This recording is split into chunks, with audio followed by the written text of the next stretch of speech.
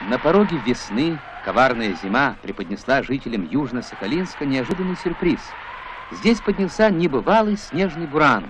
Ветер буквально валил с ног. Скорость ветра достигала 40 метров в секунду.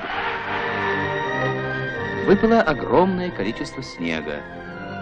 На расчистку улиц были брошены и машины, и люди. Через несколько часов жизнь в городе пошла своим чередом.